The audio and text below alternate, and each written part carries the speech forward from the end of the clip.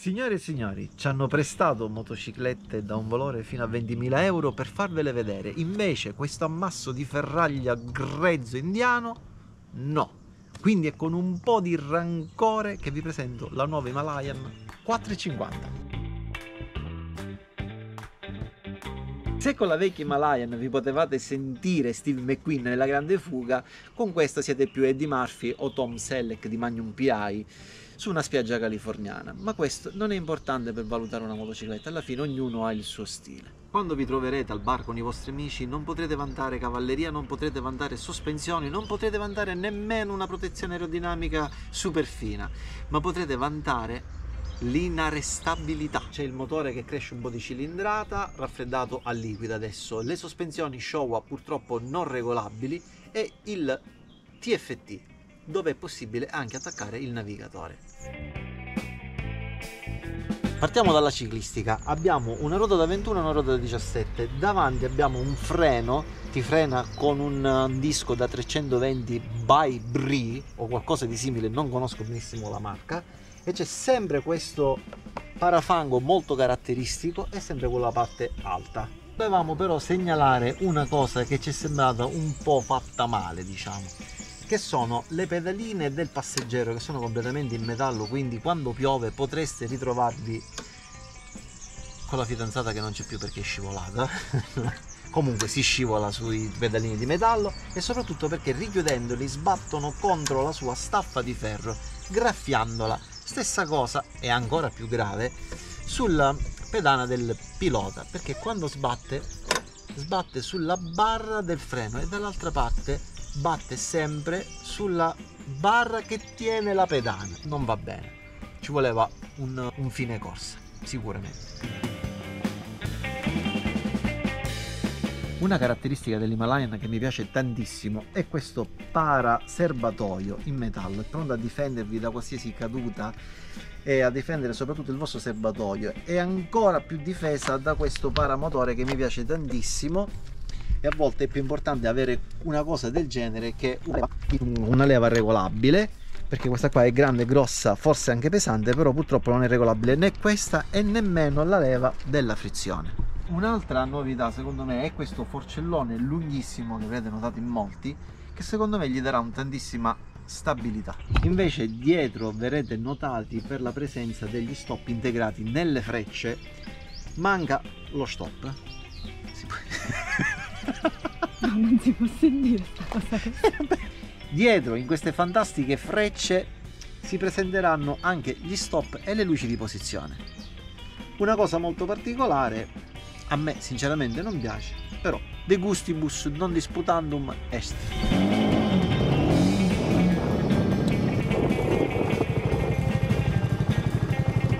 potete avere sia i cerchi tubeless sia i cerchi con camera d'aria secondo di quale parrocchia siete. La sella invece è bella, ma la mia ragazza mi ha detto che è troppo poco dire che è bella, quindi ve la faccio vedere ed è abbastanza sostenuta e larga, pronta per portarvi il più lontano possibile, anche perché lei consuma pochissimo.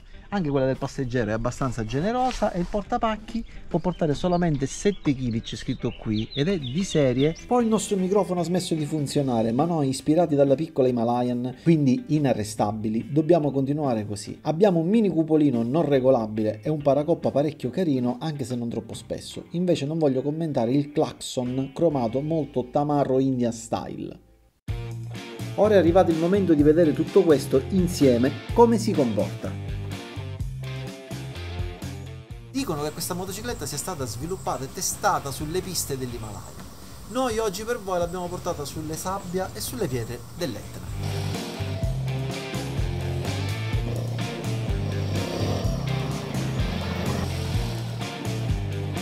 I blocchetti sono originali, ci vuole un po' per abituarsi, però queste due levette sono uniche, credo non ci sia niente nel, nel panorama motociclistico se non della stessa Royal Enfield.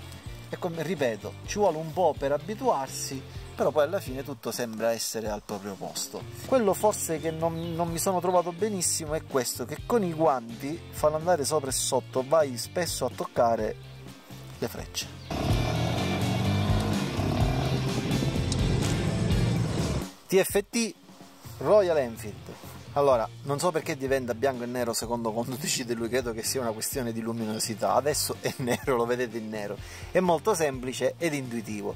Infatti, con la M che vi abbiamo fatto vedere prima nel tasto laterale, potete entrare nelle quattro mappe disponibili che sono Performance con l'ABS, Performance senza ABS, Eco ABS on, Eco che non si sta vedendo, ABS off. Queste sono le quattro mappe. C'è la temperatura, l'orario, i chilometri le varie spie che vi si potrebbero accendere durante un viaggio però alla fine diciamo che è carino molto originale e c'è anche la possibilità di poter attaccare il navigatore. È diventato bianco non appena ti sei avvicinato. Te lo dico è pazzo. Aspetta continua secondo me c'è un sensore c'è un sensore che non senza però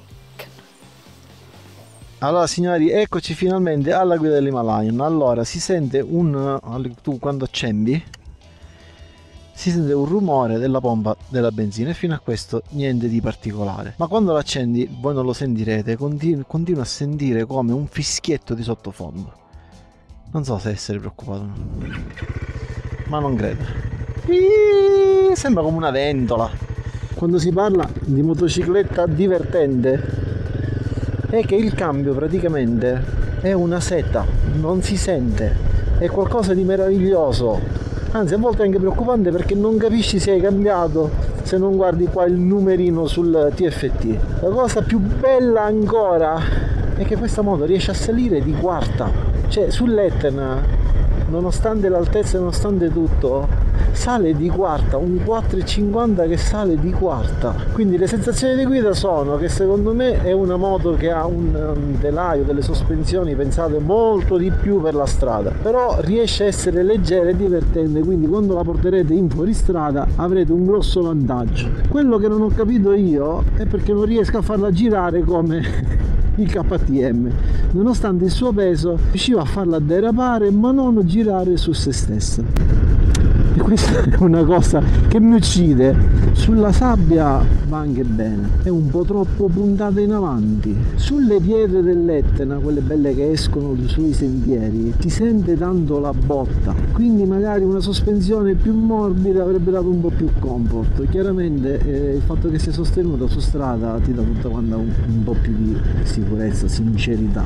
Tra l'altro vedete fre- quando frena lei non scende come fanno le maxi enduro, bella sostenuta. Stessa cosa per eh, il mono dietro che ho addirittura ammorbidito, niente, proprio roccia e quindi queste qua sono le mie sensazioni su sospensioni e ciclistica a questo punto anziché dire così diamo dei, dei voti alle varie cose come facciamo, facciamo, sempre così ci capiamo un pochettino meglio. Allora le sospensioni io ho dato 6 che per quello che mi piacerebbe usarlo a me il fatto che non siano regolabili e che non posso ammorbidirmele quando voglio o farle diventare più rigide quando mi è necessario secondo me è un, è un limite. Anche se le sospensioni si sono comportate risultata alla fine bene, cioè nel senso sufficientemente, infatti io gli do la sufficienza. La protezione dell'aria gli diamo un 5 perché non ce n'è al momento e mi sarebbe piaciuto poter avere qualcosa di più grosso per poter viaggiare.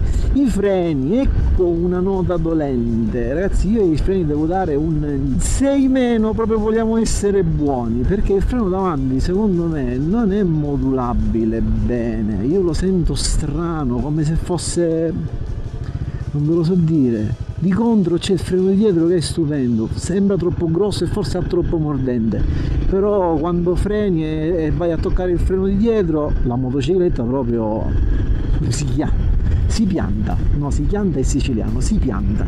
Le finiture volevo mettere un 5 perché qui c'è un pochettino una confusione di cavi che chiaramente non, non so come avrebbero potuto fare altrimenti però visto che abbiamo provato altre motociclette che erano più pulite sì che erano della, delle Adventure non, questa qua è una mezza scarenata.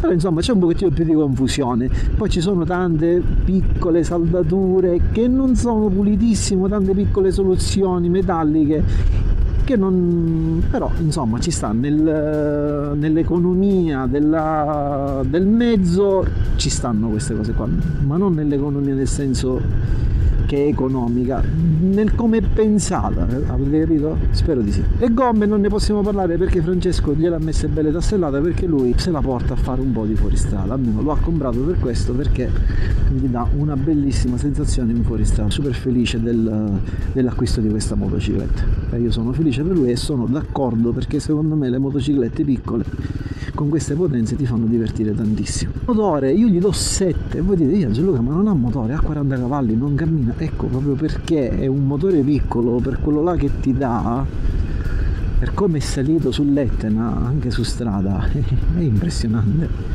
Cioè tu se riesci a sentire la spin in arrestabilità 10 come si dice, concretezza 20, perché, cioè, come ve lo posso spiegare? Una motocicletta, questa motocicletta è quello che ci servirebbe. Avete capito? Il concetto è avere quello che ti serve, non di più, non di meno. Quindi a me piace, cioè proprio rappresenta forse quella mentalità indiana della calma e della pazienza, no? un po' in nu, senza velocità, senza fretta, però allo stesso tempo dico che è divertente, quindi calma, pazienza e divertimento. Qualcuno mi dice Gianluca ma con tutte le cose negative che hai detto tu l'acquisteresti? Ragazzi mi piacerebbe averla nel, nel mio garage, non ve lo non ve lo nego. A chi la consiglierei? Eh, la consiglierei a chi comincia, secondo me non è niente male, magari veramente eh, se avete proprio necessità prendete un cupolino più grande, o a chi ha una motocicletta troppo grossa e non la vuole andare a distruggere sulle pietraie, le trazzere in giro secondo me questa qua con due ritocchi insomma con due personalizzazioni può fare il suo lavoro. I 200 kg vi giuro ragazzi io oggi anche nella sabbia qualche volta ho cercato di sbandare di buttarmi a terra però niente. Le mie gambe riuscivano a sostenerla anche in difficoltà. E questi sono tutti quanti punti a suo favore. Altezza della sella gli ho dato il voto. No 7 altezza della sella gli siamo 7 perché? Eh, perché è buona io non so dietro, è sostenuta. Però non mi sento di dare un voto meno di 7 perché è bella larga. Ci sono tante motociclette dello stesso prezzo che hanno molti più accessori, optional. Quindi non vi so dire se conviene o non conviene, però quello che so è che è molto leggera, che ti dà una sensazione di divertimento veramente e che quindi io la proverei anche a Catania dove i ragazzi è vero che non ce l'hanno prestata però si sono comportati da signori. Sono stati molto gentili molto comprensivi e ci hanno spiegato le motivazioni cosa che non tutti hanno fatto. Quindi un plauso a loro e gli facciamo questa pubblicità gratuitamente. Cosa che vi devo dire sembrerà strano ma a me piacciono queste cose piccole che tirano che si sente quel rombo del motore perché loro sono delle piccole eroine dei giorni nostri. Ah, quale motore 1200? 4,50 e godi da paura. Solamente per il sudore che ho buttato oggi, tu dovresti seguirmi, mettere mi piace, lasciare un commento, fare in modo che più gente possibile possa fare tesoro dei miei consigli. Quindi io vi saluto, spero di non dover aggiungere nient'altro stasera quando vedrò i video e ci vedremo alla prossima puntata o prova, non lo so. Vi ho salutato. Lo so che me lo sono dimenticato. La sella è regolabile in due altezze. Non me lo dovevo scordare.